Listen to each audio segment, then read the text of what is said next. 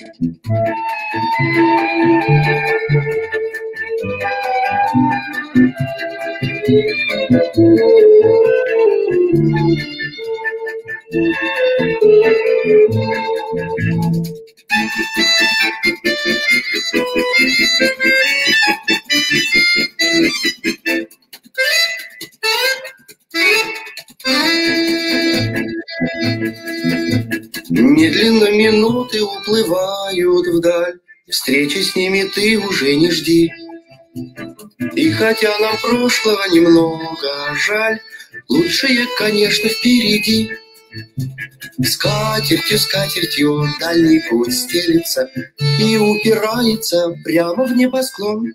Каждому, каждому в лучшее верится, Катится, катится голубой вагон. Может, мы обидели кого-то зря, Календарь закроет этот лист. К новым приключениям спешим, друзья, Эй, прибавь-ка ходу, машинист. Скатертью, скатертью дальний путь стелится И упирается прямо в небосклон. Каждому, каждому в лучшее верится, Катится, катится голубой вагон. Голубой вагон бежит. Benvenuti al nostro terzo appuntamento con le serate grandi fotografi. Abbiamo iniziato con eh, la moscovita oggi. Allora, eccoci qua, abbiamo Giampaolo Pacci della galleria Pacci Contemporary. Ciao Marco e buona serata a tutti.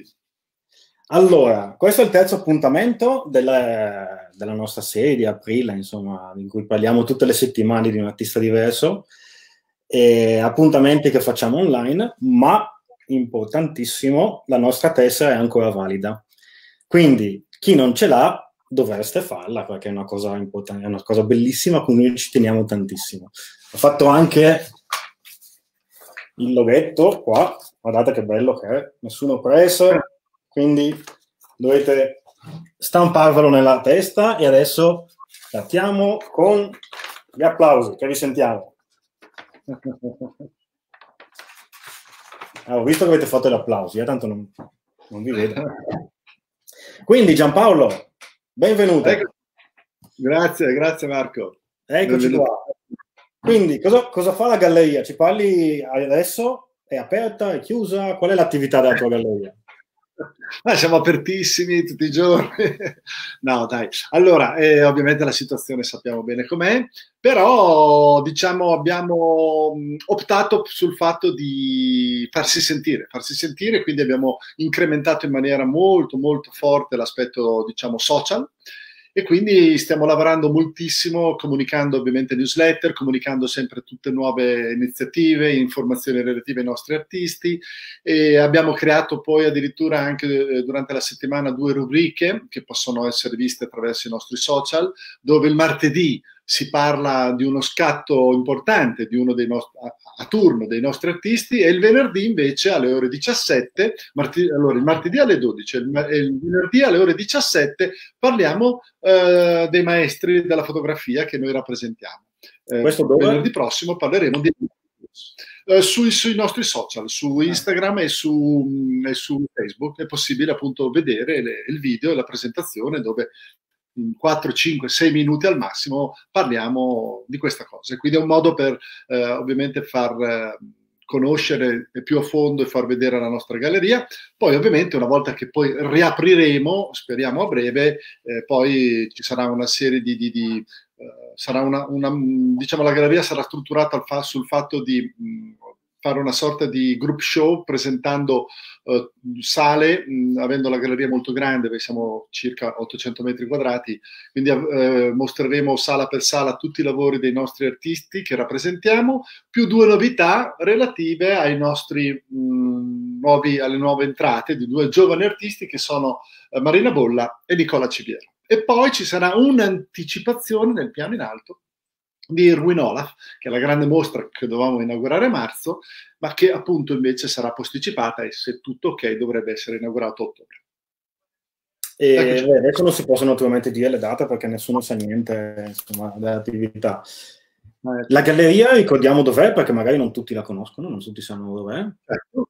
La galleria, allora, la nostra galleria, la nostra sede, diciamo, uh, è, abbiamo due sedi, la prima ovviamente è a Brescia, uh, diciamo presso il Borgo Burrer, insomma, diciamo abbastanza conosciuto a Brescia, e, e l'altra sede è, che abbiamo è a Porto Cervo, in Costa Smeralda, e, so, vedremo il da farsi, solitamente da maggio fino a ottobre la galleria, diciamo, di Porto Cervo è aperta.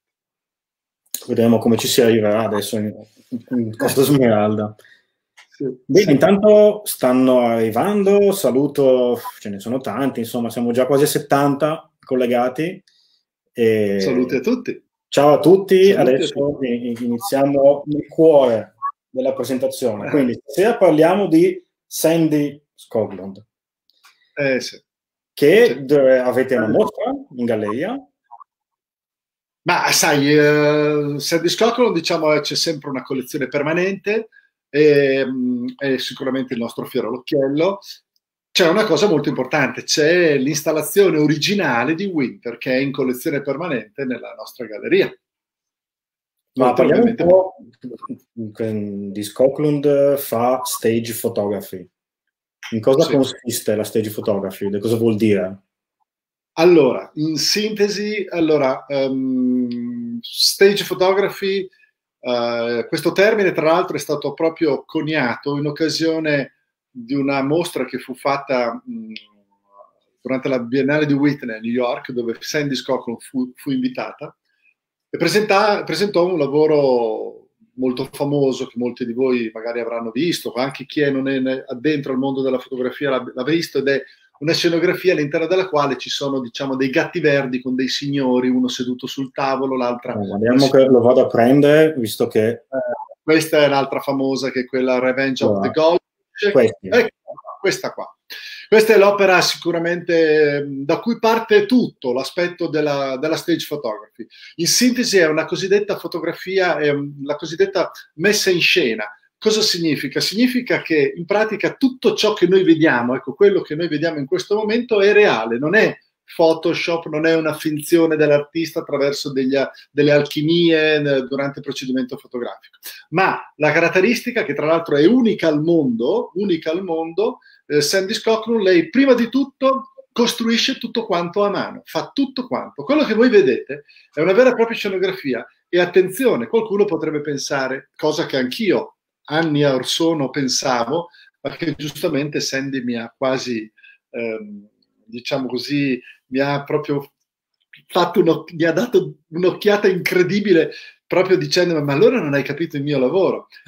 e, sì, no, perché ovviamente io feci la famosa battuta dicendo ma eh, ovviamente la sedia e il tavolo li hai, diciamo così, eh, messi e posizionati. No, tutto quanto è stato ricostruito da lei. Allora, eh, per quanto riguarda i mobili, diciamo, il frigo, eccetera, sono stati costruiti da lei, eh, se non ricordo male, questo con una specie di materiale tipo, diciamo, chiamiamolo compensato, ma una, sono tutte vere sculture, ecco, costruite e dipinte a mano da lei. I gatti sono tutte sculture in terracotta dipinte, ovviamente, poi con questo verde, da cui poi il nome, i gatti radioattivi. E quando la critica all'epoca videro, videro questo lavoro, rimasero ovviamente molto colpiti e appunto fu inserito, coniato il termine stage photography, quindi la nascita di, una nuova, uh, di un nuovo modo di fare fotografia, quindi una fotografia costruita. E da qui appunto nasce diciamo, l'epopea della stage di cui in assoluto uh, Sandy Scocklund è la pioniera, cioè è un, è un aspetto semplicemente storico. Stiamo parlando degli anni che ha iniziato... 1980, quel 1980 questo lavoro qua, ma lei le prime scenografie le fece nel 79, quindi partiamo tra il 78 e il 79 e poi nell'80 questo lavoro qua appunto creò grande interesse, grande, grande attenzione e da lì partì, partì il tutto.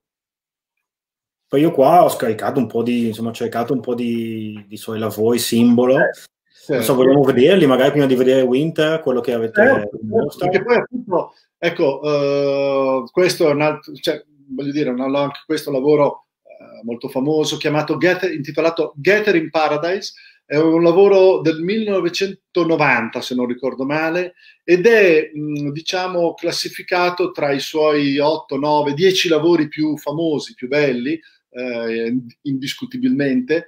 E anche qui ovviamente dobbiamo pensare e capire che tutto ciò che noi vediamo, quindi quegli ombrelloni, questi scoiattoli, tutto il pavimento, sono tutti una serie di materiali, dal bronzo alla terracotta, alla, a, a, all'utilizzo di svariati materiali che Sandy Scotland, fondamentale, costruisce, elabora tutto quanto da sola. Non ha assistenti, non ha uh, artigiani che magari eh, lavorano e costruiscono seguendo quelle che sono le sue, le sue direttive. No. Sandy Scocro, questo è l'aspetto, diciamo, fondamentale. Parliamo di un'artista appunto unica nel suo genere, quindi un artista tutto tondo, perché lei ehm, sa affrontare sia la pittura come la scultura, come appunto la fotografia, che è l'elemento che alla fine, diciamo, contestualizza tutto quanto. E quindi ecco che in questo caso, ripeto, c'è questa sua caratteristica nel costruire tutto questo mondo che è una sorta di rapporto tra finzione e realtà. Ma noi normalmente come associazione parliamo di fotografia. Sì. Si può definire fotografa? È una bella domanda. Eh, allora, sicuramente, guarda, uso oh, un libro che è uscito qualche anno fa in un'enciclopedia, eh, credo che ci, non ci sia bisogno di presentazioni, il grandissimo Germano Cenant eh, scrive come le due fotografe che hanno sicuramente cambiato la storia della fotografia negli ultimi 30 anni sono state da una parte Cindy Sherman, che ovviamente molti di voi, insomma comunque quasi, quasi tutti, o perlomeno molti conoscono, e l'altra è, è, è Sandy Scotland. Sicuramente Sandy Scotland è classificata, inserita nel contesto, diciamo, della fotografia, anche se poi in realtà, appunto, come hai detto tu, eh, è un artista che forse chiamarla semplicemente, tra virgolette, attenzione, fotografa, forse è un po' mh, limitativo, proprio perché è un artista che la sua arte abbraccia tutte le forme d'arte eh, eh, in maniera totale. Vero è anche che però, come dice Sandy, la foto eh, è quella tecnica che poi però gli permette appunto di contestualizzare, di congelare, di, di, di, di rendere, diciamo così, tutto quanto insieme, se non solo e unicamente la fotografia può fare questo elemento. Ovviamente lei poi ha sviluppato una sua tecnica particolare e anche l'utilizzo stesso dei colori, eh, cosa che fa tutto lei dalla foto, anche addirittura anche i vari procedimenti di stampa, eccetera, ovviamente abbracciando in maniera totale il digitale. Ok, intanto arrivano un po' di domande, adesso cominciamo a, a rispondere, a interagire. Ecco, se avete delle domande da fare, fatele, io pian piano le leggo e poi pian piano risponderemo, insomma, quelle, certo. alle domande che ci proponete. Allora, Pietro chiede, ma le persone sono vere? Bravissimo. Allora, eh, sì, eh, le persone, infatti, eh, una cosa che avevo diciamo dimenticato, eh, appunto le scenografie, tutto quanto è ricostruito, gli animali tendenzialmente sono quasi sempre animali eh, finti, cioè sono sculture, le persone sono persone vere, reali, che lei appunto eh, sceglie come modelli per le sue scene, per le sue scenografie, e quindi c'è questa appunto ulteriore rafforzamento tra il mondo reale e il mondo finto. Per cui sì, sono modelli e persone vere. Tendenzialmente, chiedo scusa, tendenzialmente sono a volte persone eh, di sua conoscenza, eh, nella maggior parte delle volte sceglie um, i personaggi attraverso, diciamo, l'Actor Studio di New York, dove ovviamente molti di, sono anche attori di teatro, eccetera. Quindi sì, sono persone vere, tranne ovviamente in questo caso dove state vedendo Cocktail Party, questo lavoro anche questo molto famoso, molto bello,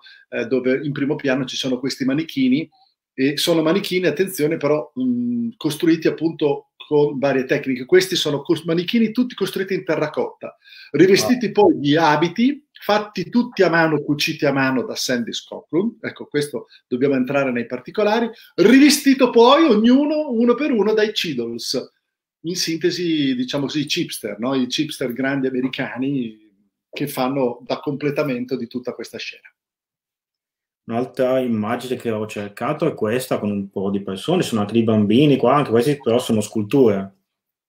Uh, anche qui c'è questa fusione sempre tra la, la, la, il mondo reale e il mondo ovviamente finto e questa qui è Fresh Hybrid, questo è l'inizio di un progetto importante che lei inizia nel 2004 dove decide di costruire le quattro stagioni. E qui appunto vediamo queste persone, alcune delle quali reali, e altri invece sono dei veri e propri, anche in questo caso, manichini, in questo caso tutti costruiti in eh, terracotta e rivestiti di lana merino, uno per uno. Gli occhi sono tutti in madreperla e wow. i capelli sono appunto tutta una sequenza di mh, mm, decine e decine e decine di scovolini, mh, mm, i famosi pipe cleaners, quelli per pulire la pipa, eccetera. Wow. Gli scovolini. Ecco, eh, ecco. Infatti Stefano, Stefano chiede, ma quanti sono grandi questi modelli? I, grandi immagino che Stefano chieda tutta l'ambientazione insomma immagino che sia molto grande poi. Ah beh sì sì certo l'ambientazione ovviamente tenete conto che insomma quello che poi tipo l'opera che stiamo vedendo adesso che è l'installazione di Fresh Hybrid parliamo di scenografie scenografie dove ovviamente vengono utilizzate delle enormi, ha ah, questo grande showroom dove lei ovviamente deve riempire e colmare e mh, ovviamente costruire, allestire tutto quanto, quindi adesso però ovviamente è, è, facilmente intuibile quanto sia grande lo spazio e soprattutto quanto sia grande la scenografia. Questa scenografia qua nella fattispecie è stato il frutto di quattro anni di lavoro. Ecco, non dimentichiamo, voglio dare un dato molto importante, unico al mondo. Eh, parliamo di un artista, Sandy Scotland, che se andiamo a guardare l'aspetto del suo lavoro di installazione, dal 1979 al 2020, cioè ad oggi, quindi parliamo di eh, 40 anni di carriera più o meno, ha prodotto 30 lavori. No, quindi una produzione limitata. Beh, vuole tanto tempo, insomma, per... Ecco, questo eh, sono dati importanti, eh? parliamo di 30 lavori in 40 passani di carriera. Certo. Beh, ad esempio, in quanto a dimensioni, anche questa è una sta- praticamente una stanza reale. Questa, è un altro, altro lavoro, questa è Greenhouse, 1989-90, anche questo. Um, questo per esempio, questo lavoro uh, è uscito una bellissima enciclopedia 4-5 anni fa uh, della, della Taschen, dove vengono scritte e nominate le 20 icone della fotografia del XX secolo ed è stata proprio inserita questo lavoro insieme a quello dei pesci rossi. Eh, questa è anche questa, yeah, questa scenografia qui, ecco questa, questa è quella dei, dei, dei, pesci rossi, chiamiamola così o comunemente, o se no The Revenge of the Goldfish. Ecco, questo, anche questo è uno scatto che, cosa posso dire? Cioè, uno scatto che, ecco, credo che la caratteristica di questo scatto sia che uno che non conosce, o perlomeno non sa tanto del mondo dell'arte o della fotografia, quando comunque vede questa immagine, diciamo, se noi prendiamo 20 persone, 18, 17 persone la riconoscono e dicono ma io questo l'ho vista, poi magari non sanno di chi è, però ovviamente nell'immaginario è, uno scatto celeberrimo. Ecco, la storia di questo lavoro, eh, che viene subito dopo quello dei Gatti Verdi, eh, questo è il lavoro che ha consentito a Scoclo di fare la mostra dal grande Leo Castelli, che molti di voi, magari molti avranno conosciuto, sentito, è stato uno, forse il più grande gallerista del secolo, mm. il gallerista di, di, di, di Japser Jones, di Robert Rauschberg e via discorrendo, dei grandi maestri americani. La prima mostra di fotografia che, lei, che lui fece nella sua storica immensa galleria fu proprio la mostra di Sandy Scott e fece proprio questa mostra eh, dove espose l'installazione originale di questo lavoro, che poi è stata donata al Museo, del Whitney, al Museo Whitney di New York. I pesci sono tutti in terracotta policroma, tutti dipinti a mano uno per uno, ovviamente sospesi sono tenuti da dei fili di, eh, di nylon sottilissimi che ovviamente non si vedono. E anche qui stesso discorso, um, la stanza, eh, il letto, um, i lampadari, i lampadari sono tutte sculture in bronzo, i letti, eh, anche quelli elaborati tutti a mano in legno e via discorrendo. Adesso altri particolari non me li ricordo bene, ma comunque tutto costruito ovviamente da lei e fatto tutto da lei. Sì, infatti Alessia, quello che è, questa è la copertina del libro della, Mazzantini. Sì, poi soprattutto in Italia, eh, questa è stata usata, eh, è stata usata come copertina da tantissimi, tantissimi anche artisti, eh, chiedo scusa, scrittori, ma anche in enciclopedia. Vi do due dati. In Italia ha avuto un successo incredibile proprio perché anni fa la Mondadori, chiedendo l'autorizzazione, ha chiesto proprio questo lavoro per la copertina del libro della, Mar- della Margaret Mazzantini, Sono venuto al, venuto al mondo. E, per esempio, poi c'è un volume che tra l'altro è un volume di studio in tutte le università del mondo, eh, uh, The Constructed Reality, ossia l'arte della stage photography, è un libro bellissimo, eh, ormai quasi raro, realizzato verso nei primi anni 90, se non ricordo male, dove c'è tutta la storia della stage. Eh? quindi tutte nelle università ecco, si studia in questo libro e in copertina c'è proprio i pesci rossi eh, di Sandy Scott. Poi c'è Mauro che ci chiede, ma forse la Chapelle si è ispirato a lei? Eh, allora, eh, credo che, voglio dire, non, non voglio, stiamo parlando di grandissima artista, la Chapelle, però indiscutibilmente sì, nel senso che ovviamente è un aspetto semplicemente storico e eh, Sandy Scotland, eh, ripeto, non a caso, insieme a Jeff Wall, è sicuramente l'ispiratrice, la, la pioniera della, della, stage, e da lei ovviamente poi derivano altri grandissimi fotografi, cui, tra cui appunto David LaChapelle o anche lo stesso Gregory Cretson, che sono altri fotografi che sicuramente oggi sono per la maggiore, ma certamente non si può non dire che non derivino da lei.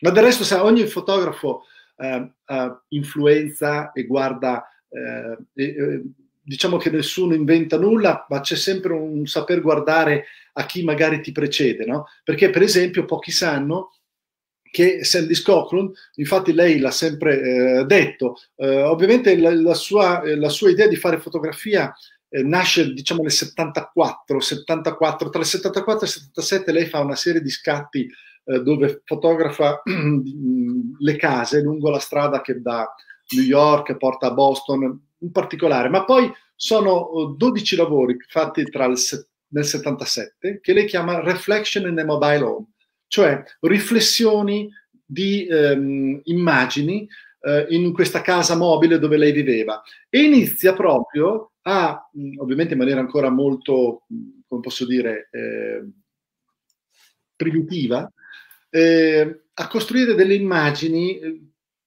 unendo degli elementi con, con altri elementi, no? quindi il senso di immagine costruita. E proprio in quegli anni lì lei mi disse, mi confermò come in realtà fu molto colpita da un grande maestro, che tra l'altro il caso vuole è uno degli artisti che noi rappresentiamo, che è Leslie Krems, che è un grande fotografo americano che proprio nel 70, già nel 76-77 costruisce a, a, a fotografare eh, delle persone, ma all'interno di stanze dove appunto eh, cerca di esprimere, di dare un messaggio, ma costruendolo attraverso eh, il fatto di, ele- di ehm, unire elementi all'interno di quello che è la stanza. E proprio questo aspetto appunto è stato molto importante per lei, quindi ha, inf- ha guardato molto Leslie Krims. Quindi Leslie Krims scoprono e Scocrono ovviamente ha influenzato poi tanti altri artisti, tra cui la Chapelle e, e, e Cretson sicuramente. Chiedo ecco, scusa. Sei, ti, ti, abbiamo sentito correttamente, ma sei un po' frizzato, l'immagine è bloccata ah. e adesso sei tornato. Okay. No, volevo solo dirti che se per caso, mm, siccome internet non è proprio un granché in Italia, se per caso state guardando anche il video su altri sistemi, meglio fermarlo perché altrimenti si dimezza la banda a disposizione. Mm-hmm così magari se in famiglia stanno guardando il video in diretta così, ma tanto, tanto questo video rimarrà sulla, sulla, pagina. E in questo momento, insomma, avere altri streaming a, a, casa vostra è un po' complicato, altrimenti con internet. Adesso vediamo, adesso sei tornato mobile. Ok. Allora... Hai sentito? Sì, sì, si è sentito tutto. Sì, sì, sì, si è sentito tutto, solo l'immagine si è bloccata. Vabbè, ma quello poco conta. Allora, guardiamo cosa chiedono. Chiedono, chiedono, chiedono.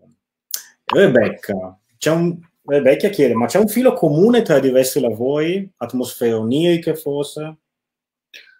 Beh, sicuramente sì, c'è un aspetto, diciamo, molto, l'aspetto, diciamo, surreale, fantastico, eh, onirico, è sicuramente dentro il, lavoro di, di Scotland. Del resto, ogni scenografia eh, ha a che fare appunto col mondo della fantasia, col mondo eh, diciamo reale da una parte, ma appunto fantasioso, onirico, surreale dall'altro. E la matrice di tutto questo è stato eh, l'esperienza che Sandy Cochran ha avuto lavorando per la Walt Disney. Infatti eh, è la matrice mh, di questa sua, diciamo così, influenza no, verso il mondo animale, surreale, ed è stata importante per lei appunto l'esperienza che ha fatto con la Walt Disney. Ha lavorato per un po' di tempo proprio per la Walt Disney, disegnando, creando anche addirittura delle, diciamo, prime di scene di, di, di ambientazione, eccetera. E quindi, come dicevo prima, c'è sempre un, un elemento che si unisce all'altro per poi dare sfogo a qualcosa che uno magari già sentiva dentro. Ecco, quindi è una caratteristica molto importante per la scopa. Certo, una curiosità anche di Palmiro che ci chiede, ma ci sono dei video quando lei costruisce questa scenografia? Bella domanda. Allora, eh, diciamo che per quanto riguarda i video, ce ne sono uh, in particolare mh, alcuni, eh, tipo abbiamo visto, soprattutto ci sono dei video eh, dove eh, c'è proprio la, il momento in cui lei scatta l'immagine, cioè ha finito di costruire la scenografia e si passa all'aspetto eh, fotografico. E quindi quel, è solo in quel frangente dove nello studio lei fa entrare eh, assistenti, eh, si fa aiutare da alcuni ragazzi, lei in, insegna ancora all'Università di New York ehm, fotografia e, e, si fa aiutare per la preparazione delle luci, del tutto. E poi si, ci sono appunto dei video dove si vede appunto lei e spiega ai modelli cosa devono fare, come devono mettersi, eh, come devono muoversi, eccetera, eccetera. Quindi c'è questa sequenza, e parliamo di una decina, do, dieci lavori più o meno, dove c'è appunto questa sequenza dei video. Poi c'è ovviamente invece un grosso lavoro di immagine fotografica di, storica dove c'è la ricostruzione eh, delle varie scenografie. Quindi lei fa entrare i collaboratori al momento finale. Sì, sì. Guarda, io ho vissuto l'esperienza dello, dello scatto di, degli ultimi due scatti che lei ha fatto, sia per quanto riguarda la primavera, Fresh Ived, e poi quello tanto, tanto, tanto atteso che è stato Winter. Adesso ne parliamo di Winter. E, nonostante abbiamo questo rapporto che al di là dell'aspetto professionale c'è proprio un rapporto di amicizia molto profondo ormai con, con Sandy, sono stato tagliato fuori. vai a prendere il caffè, vai via. Non vuole nessuno, non ha mai voluto nessuno e solo l'unico che entra è Al, è suo marito, ma lei non è, e i modelli ovviamente. Per cui è, rimane questo alone di mistero che se vuoi anche molto bello. Quindi lei per, per, mesi, adesso non so quanto dura un'installazione, per... lavora da sola. Lavora da sola, lavora da sola. Perché come dicevo prima quando ho detto che io gli feci quella domanda del tavolo e delle sedie dei gatti radioattivi, e lei mi disse, ma allora non hai capito nulla? E Sandy deve, prima di tutto, lei individua, fa una serie di bozzetti, poi dopo magari lo spiegherò meglio con Winter, ma lei deve proprio, prima di tutto, la cosa fondamentale è che lei deve padroneggiare la tecnica, deve conoscerla lei, deve farlo lei. Quindi deve imparare la tecnica della scultura, della fusione in bronzo, della, della terracotta e via discorrendo. Quindi fa tutto, tutto da sola, tutto da sola. Questa è una cosa incredibile. E c'è ogni tanto un suo caro vecchio, era uno studente di università ed è un, questo assistente, ehm, che tra l'altro è venuto poi anche a Brescia per aiutarci nella costruzione, nell'allestimento della scultura di Wind, che è l'unico appunto che ogni tanto entra e gli dà una mano, magari si deve spostare delle cose un po' grosse o roba del genere. Ecco, ma questa sì, è una mm. prerogativa incredibile, unica, unica, tutto da sola, non ha aiuti, non ha niente. Cavolo. Allora, ultima domanda prima di passare a Winter. Sì. Sempre Carlo che ci chiede, ci sono artisti italiani che fanno questo genere? Ma eh, allora ci sono sicuramente degli artisti che hanno, diciamo così, si sono molto ispirati al concetto della, se vogliamo anche della stage. Poi ripeto, ecco una cosa che, mm, ma non perché lo dico io, perché magari siamo, sono, sono, siamo la sua galleria, mm, è universalmente riconosciuto. Ecco, poi ripeto, credo che eh, l'ultimo volume importante che è uscito su tutta la sua storia del professor Cenant lo dica e lo esprime ben chiaro. Cioè, veramente stiamo parlando di un artista, ripeto, unica al mondo. Cioè, non, è inutile che ci guardiamo attorno, ma non ce n'è, non ce n'è. E per cui lei è veramente unica. Dopo ci sono artisti che magari si fanno aiutare, si fanno, si fanno preparare le scene, cost- fa, fa proget- creano i bozzetti e poi l'artigiano XYZ costruisce e fa il tutto. Questo non va certamente a demerito del, del lavoro e della qualità e dell'importanza di questi fotografi, ma Sandy è così, non c'è niente da fare. Poi mi viene, mente, mi viene in mente Occhio Magico, ma ovviamente eh, Sandy è veramente, Scocklund è, è qualcosa di, di, di folle, eh? di folle. Ho imparato ad essere paziente io con lei, frequentando lei. Eh beh, meditaz- penso che sia meditazione, insomma, il suo lavoro, perché sì, stare sì. così tanto tempo da sola nella stanza, sì. con queste luci, con questi colori, bravissimo. è un lavoro su se stessi. Bravissimo, bravissimo. Hai azzeccato, hai azzeccato in pieno. Cioè, immagino quello che abbiamo visto, anche stare in una stanza con un colore così unico, forte, non è proprio semplice da sopportare. Eh, hai, detto, hai centrato una cosa importante. Ecco, per esempio, uno dei lavori che abbiamo visto prima, da quel verde o il fondo blu dei pesci rossi. Ecco, hai detto una cosa mh, mh, da fotografo del resto che sei, hai capito benissimo. Eh, I colori non sono una cosa casuale voi non avete idea, io l'ho imparato in questi 15 anni che conosco Sandy, lo studio, l'approfondimento, la, la, sperimentazione per trovare e individuare il colore perfetto per le sue scenografie. È maniacale, maniacale. Se vi dico cosa ha fatto per Winter... E adesso ne parliamo. Certo, sì. Allora, passiamo a Winter, adesso lo apro, uh, vediamo, vediamo, vediamo, così. Allora, questo è Winter, cioè, che è quello che... Aspetta che un attimo ingrandisco un po' l'immagine. Ok. Questo è quello che c'è in mostra in galleria da voi. Sì, c'è proprio la scenografia originale. Questo lavoro, appunto intitolato Winter, eh, segna, e questo lo dice del resto Sandy stessa, poi lo rimarca molto bene il professor Cenat, Ehm, come sia stato un lavoro che abbia segnato profondamente il lavoro di, di Scopio. Dobbiamo partire dal fatto che, eh, sarò velocissimo, eh, 2004 lei cambia completamente modo di pensare e di eh, lavorare. Lei decide che vuole realizzare le quattro stagioni, affrontando eh, materiali o elementi che magari poca, poche volte avevano avuto a che fare con l'arte e se vogliamo anche innovativi. Allora, tra il 2004 e il 2008 lei realizza La Primavera, che è il lavoro che hai fatto vedere prima, quella della scena del Prato, dove appunto eh, sono stati quattro anni di lavoro pazzesco, dove appunto eh, lei costruisce ehm, questa eh, idea appunto della primavera, connubio, animali, eh, mondo reale, mondo finto, eccetera, eccetera, eccetera. Nel 2008, mi ricordo ancora quando andai a New York da lei, mi fece vedere i primi disegni che abbiamo esposto in galleria. I primi disegni mi disse, questi sono eh, il bozzetto di quello che vorrei fare dell'inverno. E mi fece vedere proprio questa scenografia, questa idea di una scultura che ovviamente non era come quella che stai vedendo adesso qui, di un animale che era una specie di uccello, ma non era proprio un gufo, e sullo sfondo queste persone. Quindi aveva, aveva già un po' un'idea di quello che lei voleva fare, no? E da lì parte il tutto.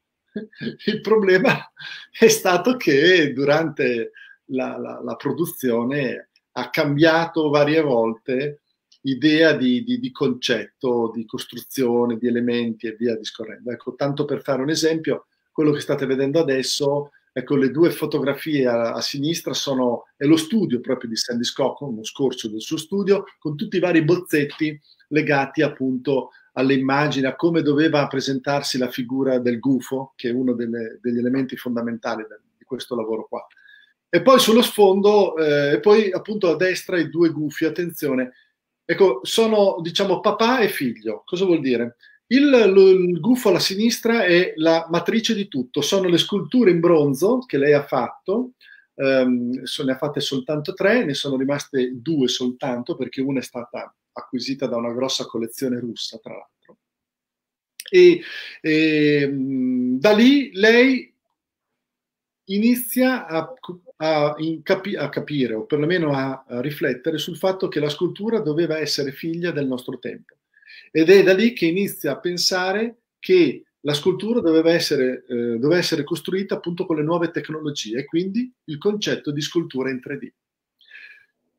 Infatti, sullo sfondo del, del, dello, dello, dello, chiedo scusa, del, del, del, gufo in bronzo, vedete quegli A-flakes che sono i fiocchi di neve? Ecco, questo è un altro elemento molto importante. Ecco, non tutti sanno che l'inizio del, del procedimento di Winter nasce che tutto quanto doveva essere fatto con la tecnica della ceramica. Infatti lei ha impiegato circa un anno e mezzo per imparare la tecnica della ceramica. Sono tutti elementi, il pavimento, lo sfondo, vedete il fiocco di neve, devono essere fatti con la ceramica. Ovviamente doveva imparare la tecnica della ceramica con un procedimento di, di, di tre fasi di cottura, quindi pazzesco.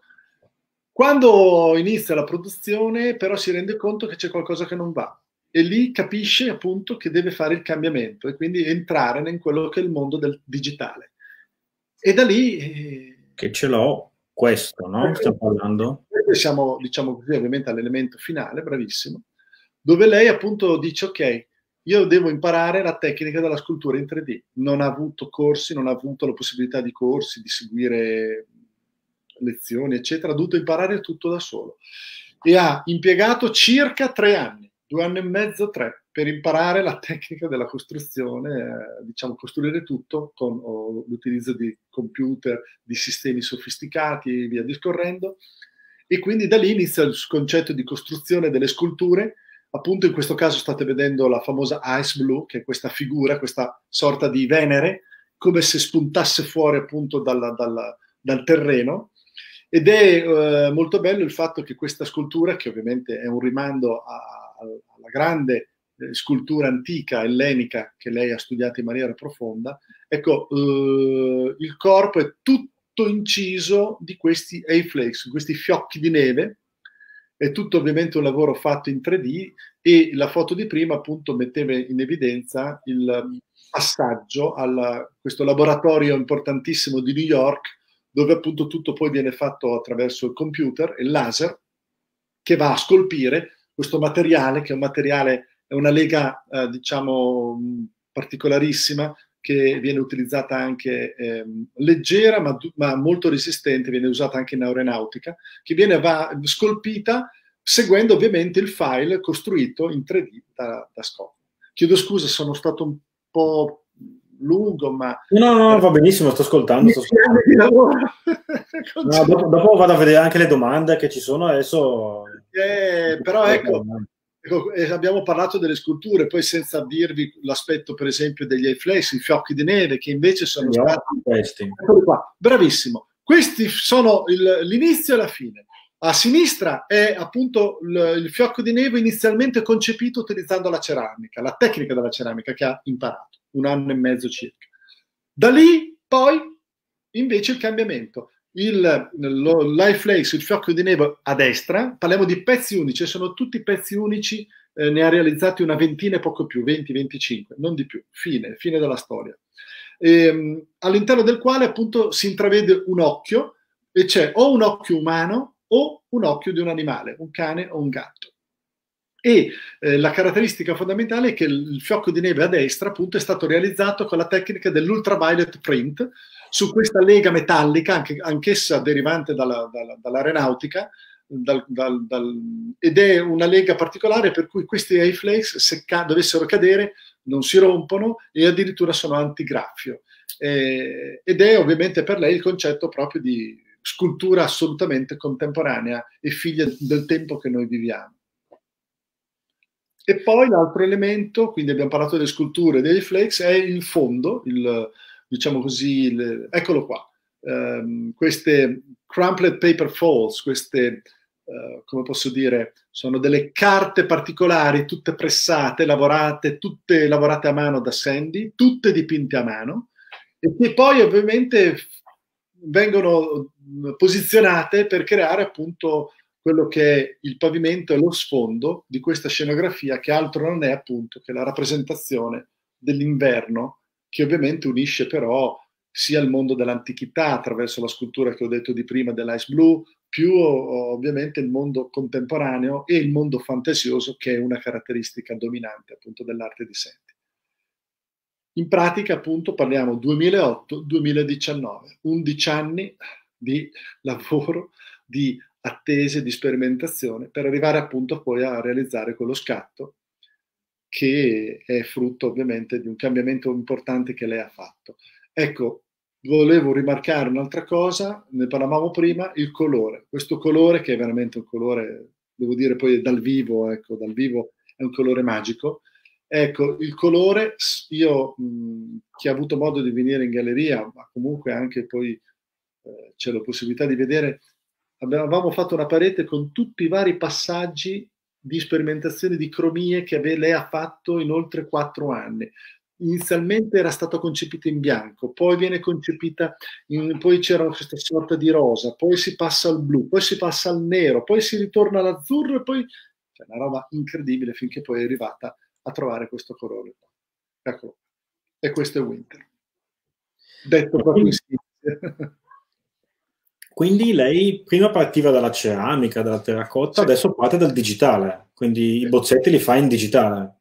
Sì, sì, tutto il file, tutto quanto è stato costruito ovviamente con col digitale, con la tecnica del 3D che ha costruito tutto lei, al computer, sono, c'è un video bello che non so se c'è la possibilità di vederlo anche sul nostro sito dove appunto si intravede proprio, lei mostra appunto la scultura, poi qui Marco mi puoi aiutare meglio tu che, eh, che magari lo spieghi in maniera magari non propriamente corretta, ma come appunto mh, lei ha costruito queste sculture proprio sul computer, sul computer creando questa, questa cosa in 3D che è appunto da cui derivano tutti questi, l'elemento da cui deriva l'installazione di Winter, eh. deriva tutto da lì.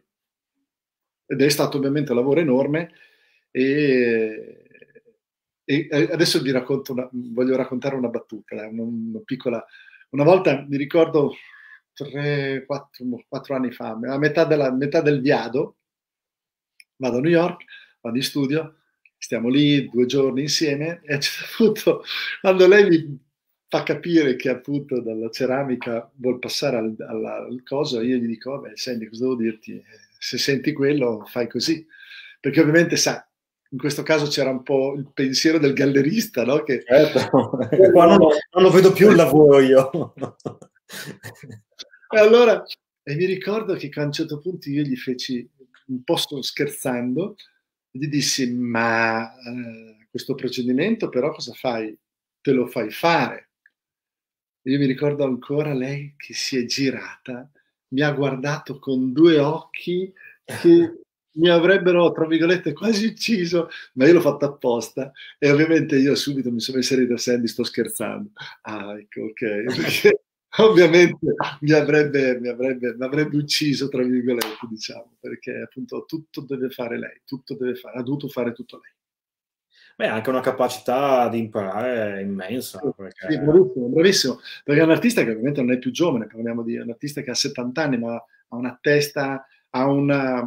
Mh, mm, ha una sens- è, è, il suo mondo, ecco, è il suo mondo. Il suo mondo è questo, questo è il suo, sono i suoi bambini, sono i suoi figli. Lei è sposata con Alda oltre 40 anni, non hanno figli, però è il suo mondo, è la sua vita e la sua vita è questa, la sua vita è questa cosa qua e quindi ha una, ha una mente, eh, è anziana diciamo di età, ma ha una mente straordinariamente vitale, energica e recettiva. Certo. Allora, vediamo che io mi ho segnato anche alcune cose. Ecco questo che mi ho segnato. Eh, nel vostro catalogo scrivete, lei, lei dice, allora, fin dall'inizio ho cercato di affrontare il tema della somiglianza e della differenza attraverso l'elemento del fiocco di neve, riproducendo su di esso forme ed immagini che appaiono simili al primo impatto, ma poi si rivelano leggermente diverse. Ecco, prima tu mi avevi detto anche la finzione e la realtà somiglianza e differenza. Sì. Puoi dire più rispetto a questa cosa? Cos'è che si intende? Allora, guarda, mh, mm, questa sua... Eh, ti rispondo, mi ricordo quello che lei mi disse alcuni anni fa. ecco, in un mondo come quello di oggi, le diceva, dove tutto c'è, o comunque gran parte viene manipolato, viene manip- vengono manipolate tante cose, l'immagine, l'informazione. E allora, mh, spesso e volentieri, noi restiamo sempre un po', a volte, quasi sorpresi di fronte a quella che è invece una, una, ver- una, una verità, una realtà, no? Proprio perché siamo abituati ad essere, tra virgolette, drogati no? dall'informazione. Perché mi disse questo?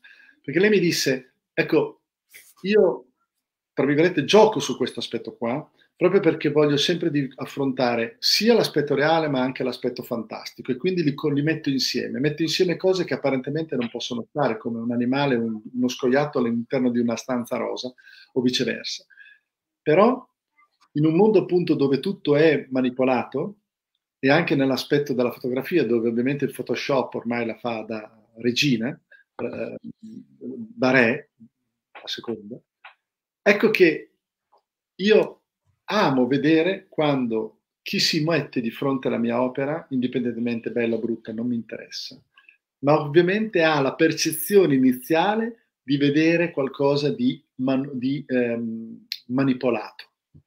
Poi però si rende conto e allora ecco che scattano questi occhi, scatta lo stupore di un qualcosa che io sto vedendo ma che è vero, che è reale. Ecco, non so se sono stato... Sì, sì, sì. questo è un grande dilemma anche che c'è nella fotografia di reportage. E questo aspetto io l'ho capito in maniera profonda attraverso quelle che sono state le mostre che abbiamo fatto in galleria, ma soprattutto nelle fiere, in giro per il mondo. Perché io mi rendo conto, ancora oggi io mi diverto, mi piace vedere, ne parlo anche con le mie collaboratrici, vedere proprio come le persone che tu vedi che entrano nello stand guardano, poi senza che tu gli dica niente, inizialmente dicono ma bene, guarda questa, questo, non so, viene in mente questo scoiattolo nero oppure questo gatto, ma è un bel Photoshop, poi in realtà controlla, guarda meglio, guarda bene, dice ma, ma è vero. E allora vedi che scatta lo stupore. E, ecco, questa è diciamo la, la, chiave, credo una delle chiavi per, per capire bene il concetto suo. Ecco. Mi è venuta in mente una cosa ascoltandoti, ti faccio una domanda, mi puoi anche mandare a fanculo, eh? non, tranquillo, sentiti libero. Non l'ha fatto Sammy in 12 anni dopo che ogni tanto la faceva arrabbiare. Ma quanto è reale una realtà costruita? Eh, eh. Perché lei costruisce una realtà, cioè la inventa, è, è, diventa reale ma non esiste. Eh, mi hai messo in difficoltà, è una bella domanda. No, questa è una domanda, insomma, anche nel, nel, ci sono, è successo tante volte nei lavori di reportage in cui la storia è reale ma l'immagine è costruita e questi lavori sono stati esclusi da mostre anche importanti. Certo. E quindi ti ho detto che potevi mandarmi a fanculo perché è una domanda secondo me che non ha risposta.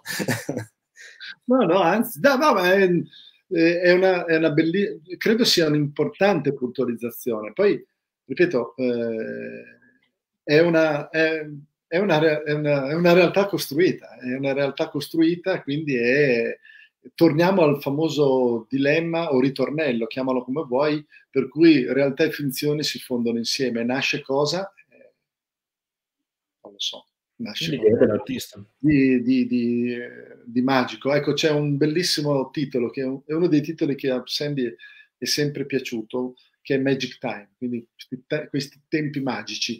Eh, mi viene in mente un'altra cosa, per esempio, ecco, il fatto di come lei abbia voluto riproporre, no? secondo la sua visione, c'è un lavoro molto, anche questo molto famoso, chiamato Shimmering Madness, velocissimo, ed è una scenografia dove lei ha costruito tutto quanto l'installazione fatta con eh, formelle di terracotta rivestite di jelly beans, caramelle mm-hmm. con le, le, chams americane, le chams europee diciamo, e lo sfondo invece ci sono appunto formelle ricop- eh, ricoperte tutte di, eh, di, farfalle, tutte costruite a mano una per una, ehm, riproducendo in maniera esatta eh, una serie di, di, di, ali di farfalle che lei è andata a, a, a leggere, a studiare nei libri di, nelle enciclopedie. Con follia.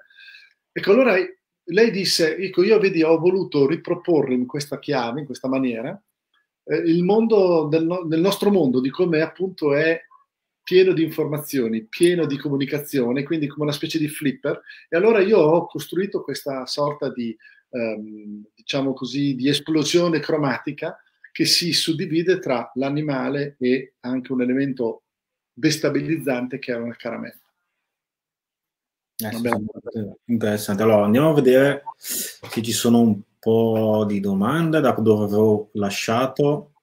Sì, ne, hanno scritto tantissimo, eh? io non li ho più seguiti, hanno, ci, sono, ci sono anche dei discorsi che sono antecedendo, dei commenti, insomma, interessanti. Allora, vediamo, eravamo arrivati qua, mm, questo, questo, questo, questo, questo.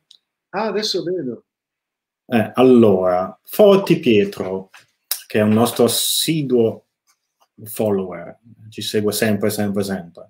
Lui chiede, ogni volta che viene costruito un set e completata l'installazione, quanti scatti vengono realizzati per la scena finale? Una bella domanda. Allora, non vorrei dire una poi cosa... Ti unisco, scusa, ti unisco anche un'altra domanda che chiede sempre Pietro, se poi usa il banco ottico.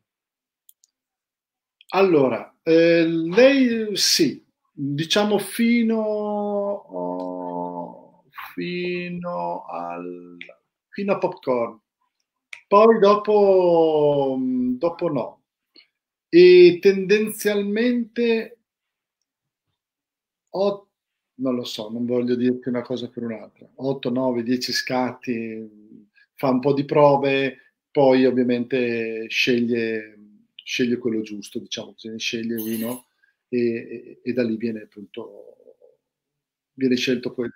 Per dirti 10, 12, 13 non... Sì, sì. Avevo parlato con la Sandy, mi ricordo che lei mi disse per esempio su Wedding, c'è anche il video che è la scenografia, quella del matrimonio, mm, fece una, una, decina di scatti. Per esempio invece di Shimmering mi disse che fece addirittura al secondo al terzo, era perfetto perché era una scena molto complicata perché i modelli dovevano stare uno a gambe, uno diciamo con le gambe all'aria, quindi era abbastanza critico l'equilibrio. E lì mi, esempio, mi ricordo che lei disse io al terzo scatto, al terzo o al quarto, adesso non mi ricordo, tac, ho trovato quello che era quello giusto. Certo. Beh, però sono comunque pochi, insomma, rispetto... No, non sono, non sono tantissimi. No, infatti, questo sì, non sono tanti, tanti, tanti. Non sono tanti. Ecco, poi guardiamo cosa chiedono. Ecco, c'è Enrica che è venuta otto anni fa da te a vedere ah. Sandy. Ah, quindi ho messo il video. Ecco, tanti hanno messo link a video, link a siti. Ecco, andateveli a vedere proprio perché ci sono tante informazioni attualmente online su Sandy Scoglund. Allora, una domanda di Willy: eh, si autofinanzia questi lavori? Eh, caro Willy. Allora, eh, diciamo che, mm, guarda, mm, parlo in maniera molto esplicita. Per quanto riguarda gli ultimi due scatti, che sono quelli che a noi ci hanno coinvolto molto, quindi Fresh Hybrid e Winter, diciamo che la galleria è stata, abbiamo, diciamo così, noi abbiamo investito e finanziato tantissimo. Poi Sandy sì, si auto, diciamo così, ha la sua galleria in America piuttosto che la sua eh, galleria mh, in Asia, anche se poi però tutto adesso fa passare attraverso noi, però diciamo così si autofinanzia in maniera, diciamo, si è sempre finanziata da sola tranne gli ultimi due scatti da quando è nata la nostra collaborazione dove, detto sinceramente, abbiamo contribuito in maniera notevole, abbiamo finanziato e investito proprio tantissimo, certo. aiutandola in tutti i modi. Okay. Anche Poi c'è l'argomento di cos'è reale, naturalmente ci sono un po' di commenti su questo. Uh, Francesco, ecco chi è chiede che Francesco, allora, che legame ha con la natura e oh perché oh sempre animali selvatici? Ciao Cecco, ciao Cecco, lo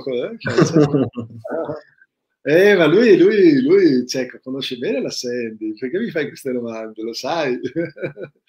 che legame ha con la natura perché usa sempre animali selvatici? Eh, ah.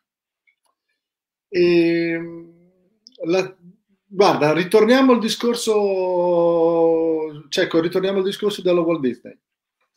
Walt Disney è stata per lei un'esperienza molto molto importante, fondamentale oserei dire.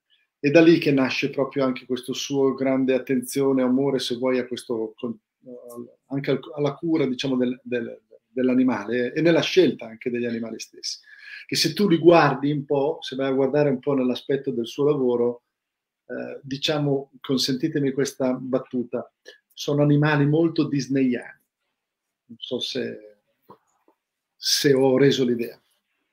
Spero di sì. Sì, sì, sì, beh, anche qua la, il concetto di reale, il reale costruito c'è, insomma, non sono copie di animali reali. No, no, sono, anzi, sono anche un po' imperfetti, ma volutamente, sono molto, eh, ci sono per esempio i cani di Greenhouse che sono, devo dire, di una bellezza incredibile, incredibile. E a volte Guarda, adesso questo, se penso che... Ecco, una cosa importante che volevo dire, eh, le installazioni. Le installazioni, tenete conto che le installazioni sono quasi tutte proprietà di musei, rarissime sono le installazioni che si trovano presso privati e, mm, e le installazioni, alcune delle quali sono anche andate distrutte perché magari alcune sono state fatte col cibo e ovviamente non, è, certo. non si è avuto nulla. Uno, una grande installazione di scenografia che purtroppo non si è tenuta nel tempo è proprio quella di Greenhouse, quella dei cani viola. Infatti mm. noi abbiamo alcuni cani, ma l'installazione totale no, non, c'è, non c'è. Noi abbiamo Winter, avevamo due scenografie, poi le abbiamo vendute, come si suol dire, ma del resto non si può dire. Questa. Greenhouse è questa, sì. Questa è, una, è un'installazione che è stata, diciamo, spezzettata, usiamo questo termine. Mm. E tra l'altro, guarda, il Chihuahua in fondo, quello sì, diciamo che Chihuahua, questo qua. Chihuahua che guarda il signore seduto sulla sedia, no, l'altro, quello lì, eh, quello lì eh, se n'è andato in una grandissima, importantissima collezione proprio russa, visto che tu sei è qui a casa mia, posso andare a vedere. È proprio, è proprio lì a casa tua. Sì, sì proprio lì a casa tua. Grandissima collezione a livello mondiale proprio. E noi siamo onorati di come questo, questa persona sia un amante incredibile proprio del, del lavoro di Sandy. Quindi a malincuore, perché sono, ci sono a volte sono, capita delle cose che dici questa non la voglio vendere, ma poi devi farlo. Una cosa che chiede, ecco, Carla, che torna sull'argomento che avevamo parlato prima. Probabilmente non, abbiamo, non è stato approfondito abbastanza, ma come mai per, per, lei è così importante e fondamentale produrre tutto in proprio, quindi essere sola durante la produzione di questa, di questa opera? Torniamo, torniamo, al concetto sempre della, della Disney. Eh, quel periodo lì è stato molto importante per lei e, e è un aspetto suo che ha dentro per cui lei non potrebbe concepire un qualcosa che non sia derivante da un suo atteggiamento, da un suo lavoro, da una sua creazione. Non sarebbe una creazione, sarebbe mm. un uh, prestarsi a un qualcosa insieme con altre persone. È un aspetto prettamente, prettamente suo, è una cosa che ha dentro, dalla quale non si libererà mai. Quindi tutto deve essere suo.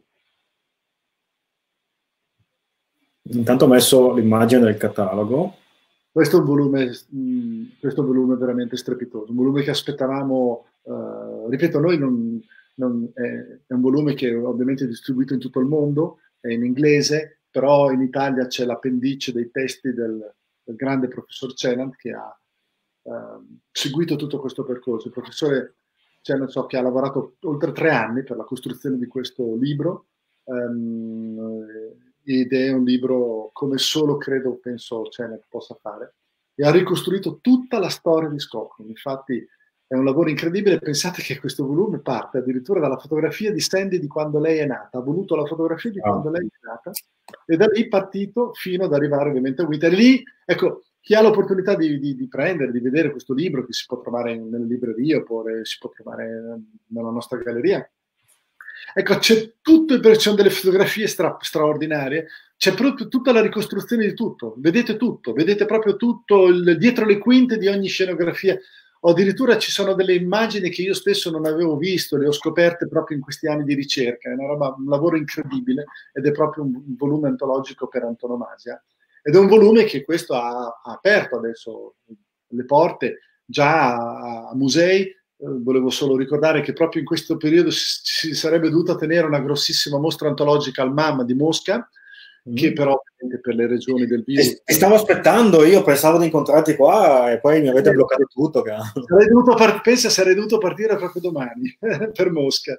Eh, però ovviamente il museo adesso aspetta l'evolversi della situazione, poi la mostra ovviamente sarà posticipata. E poi 2021 c'è una mostra strepitosa al McNay Museum di San Antonio, eh, in Texas, in, negli Stati Uniti, dove ci sarà Winter, l'installazione di Winter Scotland con Kusama. Quindi c'è questo connubio wow. Kusama Sandy Scotland, una bellissima mostra, che ci sarà aprile del 2021.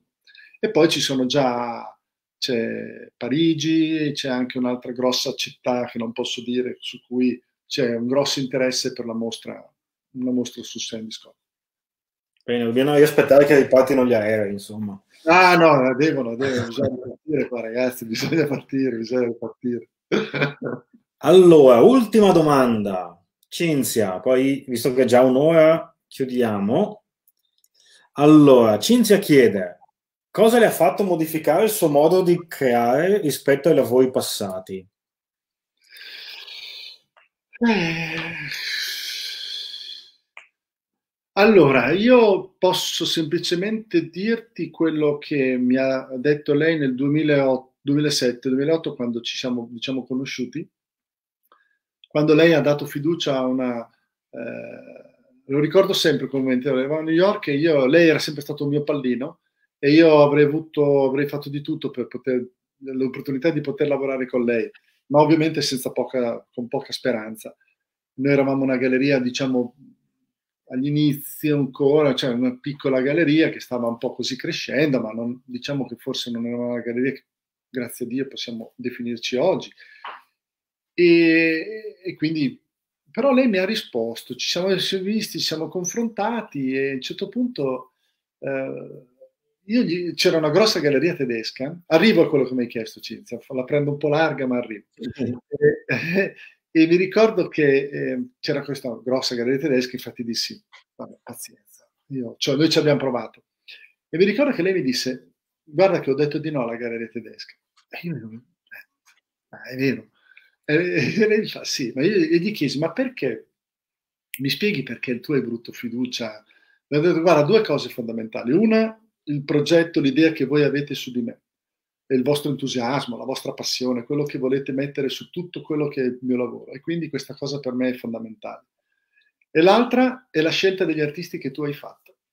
Perché appunto torniamo al discorso che avevo fatto all'inizio, il fatto di Leslie Krims, Arthur Tress, Bernard Foucault, un altro artista francese che noi abbiamo anche lui legato un po' al concetto di stage, di fotografi, e lei ha detto questo la scelta dei, degli artisti che noi avevamo fatto. Eh, ha detto, mi aveva dato la prova che eravate una galleria con una certa diciamo, mentalità e questo ovviamente ci ha fatto eh, piacere. E allora su questo aspetto qua, lei mi ha detto, mi ricordo che mi disse, vedi, ci sono dei momenti in cui noi si deve, si, dobbiamo cambiare, dobbiamo cambiare, dobbiamo per forza trovare nuove strade. E, ed è per questo che ovviamente lei mi intuì il fatto che non voleva più costruire, lavorare come aveva fatto fino negli anni 80-90 con le sue classiche diciamo, scenografie, ma affrontare un mondo nuovo attraverso l'utilizzo anche di tecniche nuove. Ecco perché lei ha avuto l'idea di costruire appunto questo concetto delle quattro stagioni, di lavorare appunto su un nuovo mondo, su un nuovo percorso che non l'aveva fatto, pochi l'avevano fatto prima. E, e, quindi ha detto è un mondo nuovo, sconosciuto per me, ma che voglio affrontare, sempre però legandomi al concetto della fantasia e da lì nasce eh, questo nuovo percorso nel 2004. Ehm, sono stato un po' lungo, Cinzia, però ho voluto un po' ecco, spiegare quella che è stata proprio la mia esperienza, visto che anch'io gli feci quella domanda. Qui le domande arrivano ancora, se hai tempo, ancora dieci minuti, magari rispondiamo alle ultime tre. Io volentierissimo, come vuoi tu. Eh, ti chiedo però poi chiudo, eh. poi basta, ultime tre, poi tantissimo. chiudiamo. Allora, sempre Carla, che chiede, come mai lei, signor Paci, è così delizioso circondarsi di opere fotografiche in cui gli artisti costruiscono scenari, soggetti, situazioni, sogni? Eh, qua è sempre difficile. allora, eh, Carla, mh, mm, sicuramente l'aspetto stage è, indiscutibile che c'è molto l'aspetto un po' surreale, lo si vede nella, nella, scelta degli artisti che abbiamo fatto e che facciamo. L'ultimo che è arrivato è Irwin Olaf, per cui... Eh, ah, ecco, per esempio, a proposito di, di scelte, no? Eh, Irwin Olaf, la mostra che appunto avremmo dovuto presentare a marzo, ma che faremo a ottobre, mi ricordo che io gli dissi, eh, parlando con Irwin, che grandissimo. Tra l'altro Sandy Cochran stima e ama tantissimo e viceversa, si stimano in una maniera pazzesca. E mi ricordo che eh, gli dissi, guarda Irmi, c'è un, l'unico problema che nella galleria, noi, nel piano in alto, dove appunto sarà uno dei piani dedicati a te, c'è la collezione permanente c'è la, l'installazione di Winter. Però adesso vedremo se riusciamo magari a spostarla. E lui mi ricorda che mi ha detto, cosa? Stai scherzando? Per me Sandy Cochran è una maestra Anzi, il fatto che le mie opere convivano con la sua scenografia, per me è un onore, non spostarla. Ecco, questo è stato proprio una cosa che mi ha fatto un piacere, a noi tutti, incredibile. Per cui sì, la scelta è data dal fatto che l'elemento un po' sogno, eccetera, c'è. Però ovviamente poi le scelte vengono fatte in base anche ad altre caratteristiche che abbracciano anche un po' l'aspetto del mercato, insomma. Ovviamente però la prima scelta è di pancia, devi amare il lavoro che tu presenti e che mostri, ecco, quello sicuro. Certo. Allora, penultima, è inutile che scrivete ancora perché non risponderò più. Quindi, ah. penultima, Carlo ci dice, ci sì. chiede, tra le immagini dal 96 al 2003 vi sono tre immagini fatte all'esterno, ma chiedo se l'immagine Picnic on Wine è una scenografia. Ok. Allora sì, tra l'immagine all'esterno sono... C'è allora, vado a memoria, c'è uh, Squirrels Drive-In, questi scoiattoli nel drive-in, eh, poi c'è mh, mm, I gatti a Parigi, famosissima. Quella fu fatta su commissione addirittura della città di Parigi nel 1990. Usò i gatti della, dell'installazione dei gatti verdi di Radio Cats e fu fatto in occasione della costruzione dell'ultimo ramo, diciamo questo termine, scusate, della metropolitana di Parigi. Uno scatto che fu fatto alle 5 della mattina, alle 6 della mattina, con la prima luce dell'alba, eccetera, e fu fatto con lo scatto scenografia d'esterno. Poi ce ne sono altre due. Um, Baby at Paradise Point e poi um, un'altra, quella delle foglie blu sul prato.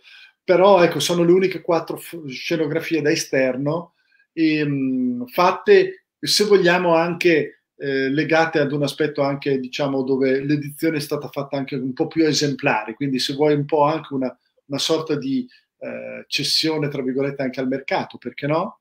Però sempre curate nei minimi dettagli, però sono da esterno. Picnic on Wine è l'unica fatta fuori da Manhattan. È stata fatta in uno studios um, in California, eh, dove vengono girati i film, eccetera, ed è una scenografia costruita attraverso lo sfondo, sono 200-250 fotografie montate una per una dello, dello, del cielo californiano, e poi tutto il pavimento è fatto di erba sintetica, eh, con bicchieri di vino originali rossi, vuoti, riempiti uno per uno, e ovviamente poi i modelli sono stati fatti in polistirolo, rivestiti di, lana, di erba sintetica, e poi ha creato dei, delle, dei, dei dice, dei, piccoli percorsi dove appunto i, i, modelli potevano mettersi e si sono poi sdraiati e da lì poi ha scattato l'immagine. Picnic on wine. Cavolo. Quindi, ultima, Pietro, che probabilmente vuole acquistare qualcosa. Ci chiede le quote di mercato di oggi delle sue opere fotografiche e sculture. Allora, la, for- diciamo, la forbice le quote di mercato intendi i prezzi, immagino, oppure no? Penso di sì. sì, sì. Penso di sì. Uh, comunque sia, ovviamente il suo mercato è un mercato internazionale. Eh, Sandy Scotland, mh, mm, adesso voglio dire una cosa da gallerista, probabilmente fazioso, probabilmente di parte, però c'è una persona che non posso dire il nome, è uno dei giganti, un nome tutelare della storia eh, dell'arte mondiale. Mi ricordo sempre che mi fece questo esempio. Ci sono due fotografe che hanno veramente cambiato no? negli ultimi 30 anni, Sherman e Scocklund. Sherman i suoi top price, parliamo di 2 milioni, 2 milioni e mezzo di euro, quindi 2 milioni e mezzo di dollari più o meno, giustificati e assolutamente veri, perché è stata fondamentale. Skoklund 60.000 euro il massimo, diciamo 70 per quanto riguarda proprio i suoi lavori più importanti, famosi. C'è qualcosa che eh, non va, nel senso, giustissimo che Sherman costi quelle cifre, ma che un capolavoro importante come può essere i pesci rossi e i gatti verdi, che costi 40 e 50 mila euro, è qualcosa che un po' stona se lo guardiamo da un punto di vista del mercato. Però detto questo, la forbice sua è abbastanza ampia al momento, si può andare dai 5.000, 4.500 euro fino ad arrivare ai 60.000 più o meno. Il discorso dell'installazione è un discorso a parte, ovviamente, perché l'installazione di certo. Winter eh, e l'installazione... Beh, no, basta, Winter perché... Ah, poi, poi c'è Fresh Hybrid, ovviamente hanno un, un costo nel, e c'è tra l'altro poi anche un, un interesse in questo periodo da parte di alcuni musei, vedremo. Questo è ecco, un po' a grandi linee l'aspetto del mercato. Certo. Bene, abbiamo concluso. Vediamo che ho il, le immagini digitali. Quindi vi ascolto tutti. Bravissimo presto. Grazie mille, grazie, grazie, a tutti, grazie Giampaolo. Insomma, è stato penso una serata abbastanza interessante, molto interessante dal mio punto di vista. E ci vediamo martedì prossimo con il nostro ultimo appuntamento della serata e vi ricordo www.nessunopress.it per le tessere. Ci vediamo. Grazie a tutti. Ciao, grazie. Arrivederci.